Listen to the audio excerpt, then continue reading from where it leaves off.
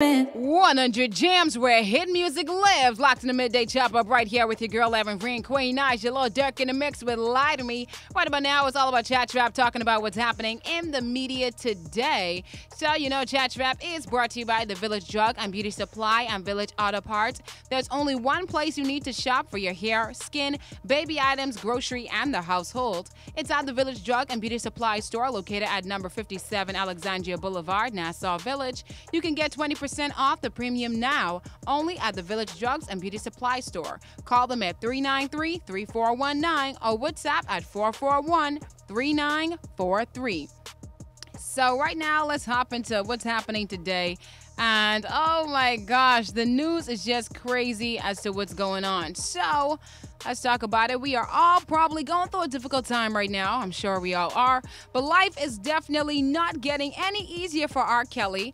As you know, R. Kelly is already waiting trial in several states, and now he has new accusations against him. And the shocking new allegations state that R. Kelly was involved with two underage boys that he met at McDonald's and he is also facing accusations of bribery in which he paid an employee of the state money to create a fake ID for Aaliyah in 1994 which was to allow him to marry her when she was only 15 years old.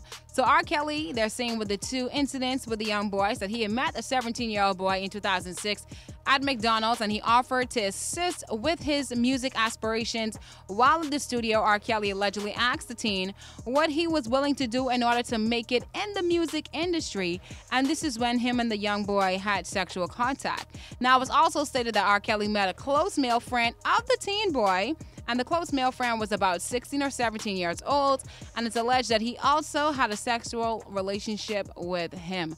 Honestly, it's just like, what is going on in the world today? Uh, 2021 cannot get any more messier, and there's one divorce in Hollywood that's happening right now that I'm sure made a lot of men second guess marriage. And honestly, at this point, this doesn't make me second guess marriage. But Dr. Dre and his estranged wife, Nicole Young, has been going back and forth for months now, seeing this when she filed for divorce sometime back in 2020.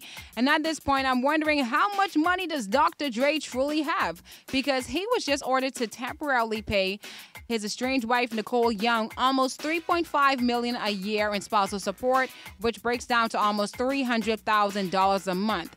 So to be exact, he's paying 293,000 $306 per month to his ex, which is due on the first of every month until they can negotiate the terms of their final divorce settlement. Now, the payments are ordered to continue until she remarries or enters into a new relationship or the death of either party.